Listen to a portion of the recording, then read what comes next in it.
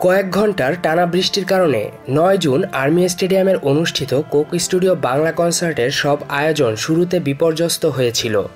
যার কারণে বিকেলের পর এই মেগা কনসার্ট স্থগিত করার ঘোষণাও দেওয়া হয়। তবে সেই সিদ্ধান্ত বাতিল করে শেষ পর্যন্ত রাত নয়টায় শুরু হয় বহুল আলোচিত এই কনসার্ট। নেচে গিয়ে চিৎকারে এই আয়োজন দারুণ উপভোগ করেন উপস্থিত দর্শক। কনসার্টে তারুণ্যের উন্মাদনাও ছিল চোখে পড়ার মতো। আর এই কনসার্ট উপভোগ করেছেন শিশুশিল্পী হিসেবে জনপ্রিয়তা পাওয়া ঢাকায় সিনেমার নায়িকা প্রার্থনা ফারদিন দিঘি। প্রথমবারের মতো কোনো ওপেন এয়ার কনসার্ট উপভোগ করতে গিয়ে বেশ উন্মাদনায় ছিলেন চাচ্চুখ্যাত তারকা। আর তাই তো কনসার্টের প্রিয় শিল্পীদের গানের সঙ্গে চিৎকার করতে করতে গলাও ভেঙে গেছে তার। শুধু তাই নয়, আর্মি স্টেডিয়ামে অর্ণবের কণ্ঠে চিলতে রোদ গানটি শুনতে শুনতে আবেগে কেঁদেও ফেলেছিলেন এই নায়িকা। নিজের জীবনের ওপেন এয়ার কনসার্ট দেখার অনুভূতি শেয়ার করে দিঘি বলেন, আমার জীবনের অন্যতম সেরা একটি দিন ছিল এটি।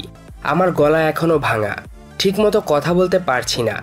আমি গিয়েছিলাম মূলত অর্ণব, তাহাসান, জেমস, মমতাজ আন্টির সবার গান শোনার জন্য। মমতাজ আন্টির গান আমি খুব কাছ থেকেও শুনেছি। তবে কনসার্টে তার গান শোনার ব্যাপারই আলাদা।